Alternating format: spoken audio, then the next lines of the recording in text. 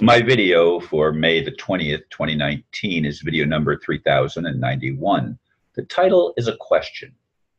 Is the United States, or the USA, a republic or a democracy?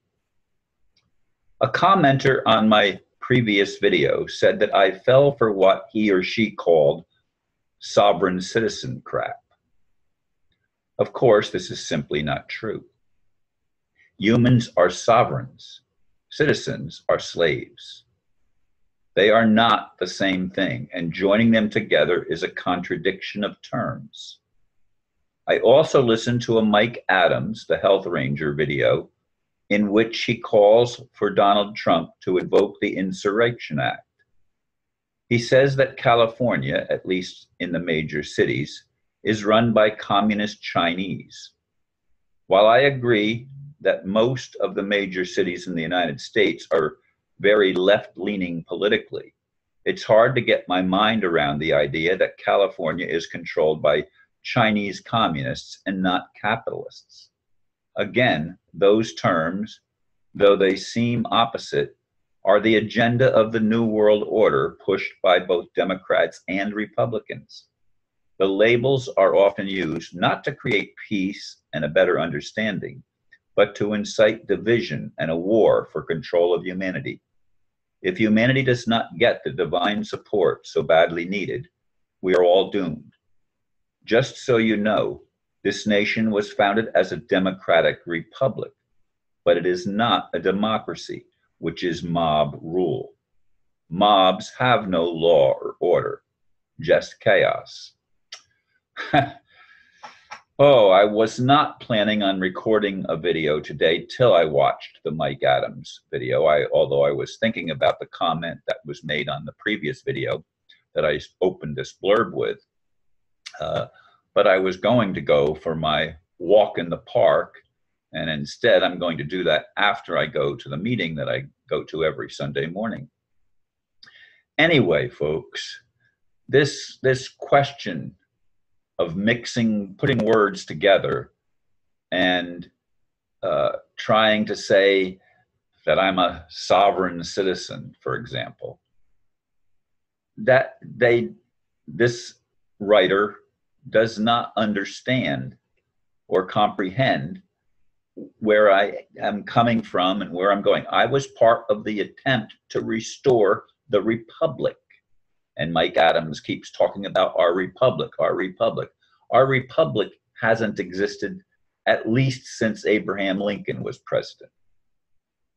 That's the 16th president And the 1860. Was not that the year that he was elected?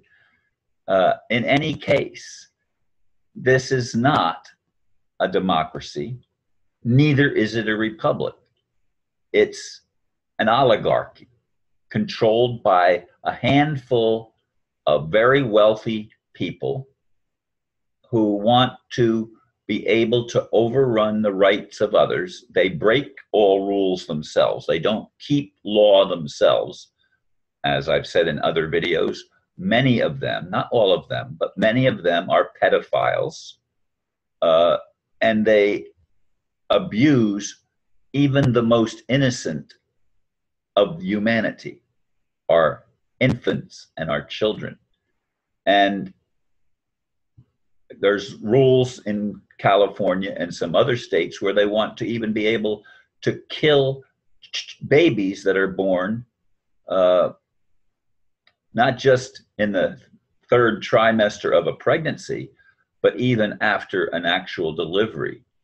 Uh, and of course, I'm sure this happens in places. It's sad, but it's probably a reality on the planet that we live on, which, if you haven't noticed, seems to be insane at best.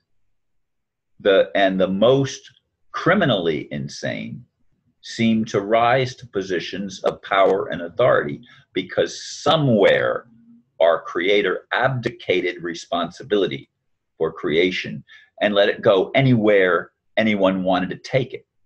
And of course, the most malevolent beings are the ones that wanted to control and subdue and, if necessary, kill everyone else. this is the reality of Earth. And for me, it is extremely, an extremely dangerous place to live. And if they could undermine the foundation of a republic, which I believe the United States had certain people involved in its origins, like uh, Thomas Jefferson, especially, but others as well, who wanted to uh, ensure freedom for everyone. Of course, they didn't consider slaves to be on the same level as themselves. So they were not perfect people, is what I'm saying. But they did have some principles and employ some principles and that they put into the especially the bill of rights and of course the declaration of independence before the even the united states came together as a nation uh, or a conglomeration of states is is more correct. But before that these people had a vision for humanity to be liberated from the slavery of monarchies and the domination of those that felt that they had some divine right of kings or kings and queens, of royalty. And this game of confusion has been ongoing on this planet for eons, not just decades or centuries, even, but for eons. There has been this state of confusion that has dominated human uh, understanding and human awareness. And we have had a really hard time getting it together. Everything has been used to divide us. And I've been trying to raise my voice for a long time and saying, we have to come together. We have to learn to listen to each other we have to try our best to build bridges, exposing the walls and taking them down, removing the, the separation, and allowing us to become truly a free people because we know the truth. And what is the truth? The truth is that there's only really one answer, and that is to love one another. That's the basis in all religions but it's overshadowed by all of the confusion that argues over the minor points. And we never get to the point of loving each other. We never get to the point of listening to one another and trying to build bridges and find the common ground that will allow us to exist peacefully, or I should say, coexist. Because this is a co creation. But somehow the creator seems to me to have relinquished responsibility. And that's the problem. And people say, but Ron, we are the creator. You create your own reality. I've heard that said so many times. Well, I do have freedom to choose my response to things. And I'm responding in this video to things that I think are confusing and trying to clarify things. Am I accomplishing that? I hope so. But I don't know because so many people hear what they want to hear. And I'm probably guilty of that myself. We filter things through our present point of view and through our understanding of how things are and how we define terms so it's not an easy task to create peace on earth.